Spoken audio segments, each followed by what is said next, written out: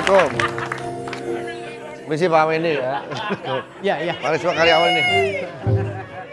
Assalamualaikum warahmatullahi wabarakatuh. Waalaikumsalam. Di kesempatan yang baik ini, saya ingin menyampaikan kepada Bapak Wendy, juga teman-teman semua yang ada di tempat restoran ini, ini ada anak baru yang baru, baru datang. Iya, Pak. Dan persilakan kepada Bapak Wendy untuk ngobrol dengan dia. Bu apaan? Emang merbot musola kita dia?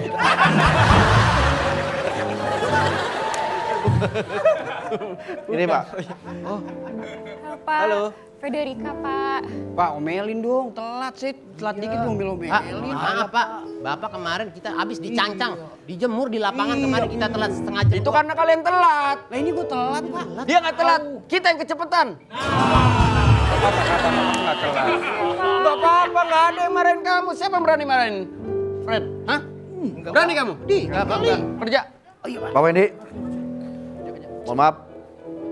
Assalamualaikum warahmatullahi wabarakatuh. Warahmatullahi wabarakatuh. Kepada yang terhormat Pak Wendy, ini menurut hemat saya kepada anak baru janganlah langsung dicap dia telat. Tapi dicek dulu kebenarannya kenapa dia telat, apakah memang itu sengaja atau tidak. Saya kembalikan kepada Pak Wendy untuk Pak,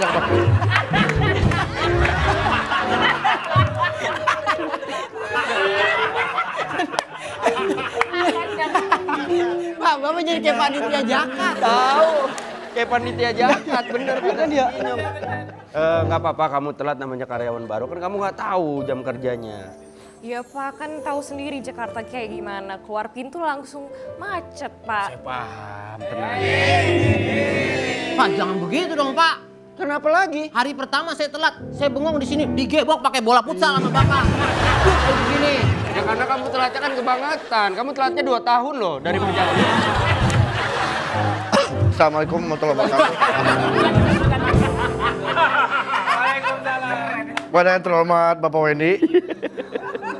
Alangkah baiknya kalau Pak Wendy menasihati kepada karyawan yang di sana jangan mau diprovokasi untuk mengomeli anak baru ini karena anak baru ini kan juga masih dalam proses belajar.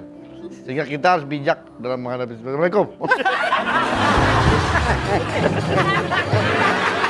Hei. Sini.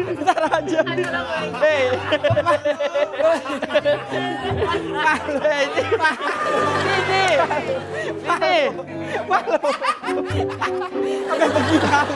Terima kasih. Tenang aja. Saya tidak mungkin memperlakukan eh, panggilannya apa? Eh, panggil aja Fred, Pak. Fred. Fred. Kayak kurang agak susah nyebutnya. Kalau dipanggil sayang gimana? Jangan mulai lagi ngomong lagi. Nih, Pak. Anak baru. Masa pakai kaos doang? Mau ngadu bola emang? Iya. Gak usah pakai ah, kedengeran sama gue. Pakein pak. Masa anak baru pakai kaos doang? Waduh bola. Ngomong yang kenceng, yang jelas. Pemakaian celemek. Gak usah. Cara apa? Lo tinggal dipakein. Biar resmi gitu Pak. Jadi kayak ini MC acara. Tasnya kamu Saya pegangan Pak. Thank you ya. You welcome. Eh, Fred, mulai hari ini kamu resmi bekerja di sini. Semoga kamu betah, semoga bisa memberikan sesuatu yang maksimal buat kantor. Oh, makasih, Pak. Thank you.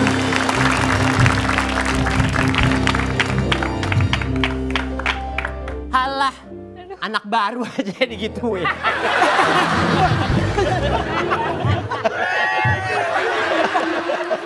Saya kira, mas, Eh, di mana-mana roti sosisnya atuh empat ngapain? saya kira burger tadi. Burger juga dagingnya. Eh, kalau jadi gini, ini nyari-nyari nggak ada. Nggak ada Tahu. temennya. Salah saya. Ibu jari nyarin ada anak-anaknya gimana? Biasa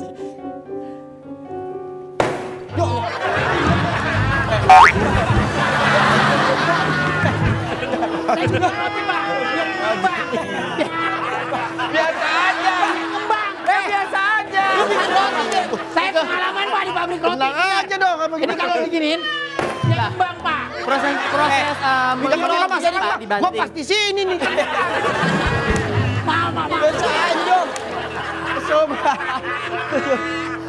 Masa bikin roti Kamu pelan-pelan aja, kamu pelan-pelan aja. Oh iya pak. Ya? Iya maaf pak. Kayak lagi gilas baju, Pak. Eh, Fred, kan kamu pegawai baru ya, jadi kamu mungkin belum terlalu tahu. Dimasukin, tangannya dimasukin ya. Iya, masuk gini. Ya. Oh, bilang dong, Pak. Itu, ya. Eh, karena kamu belum tahu tentang pekerjaan di sini, gimana kalau kita makan malam nanti?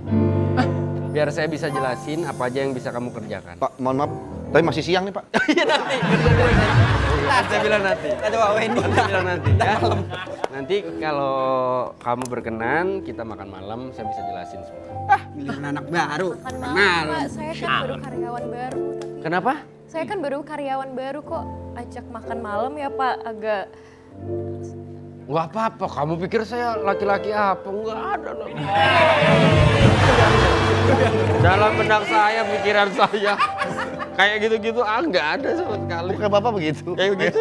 Bapak. Tenang aja, saya hanya ingin memberikan pengarahan.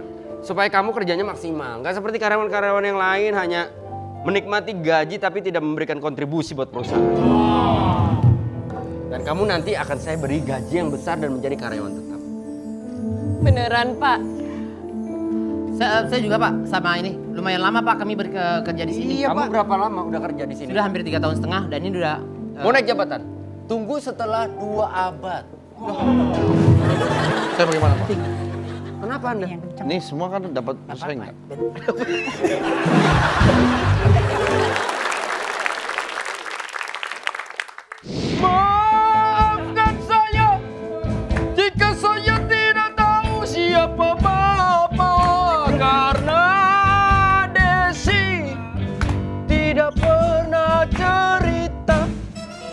Pokoknya tidak bisa. Kalian bertiga. Kita semua ada di sini. Gak usah nyanyi Des, Des, gak usah.